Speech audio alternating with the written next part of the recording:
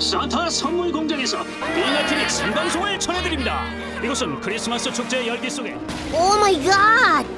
산타의 사슴들이 실종됐다고? 편지 가방도 없어졌대. 얘들아 큰일 났어. 크리스마스가 없어질지도 모른다고. 초보 요정 스파이크와 허당 펭귄 파코가 나가신다.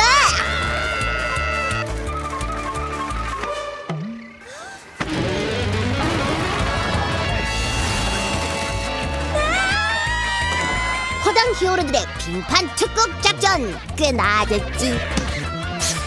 올겨울 특별한 선물이 우리를 기다린다. 스파이크.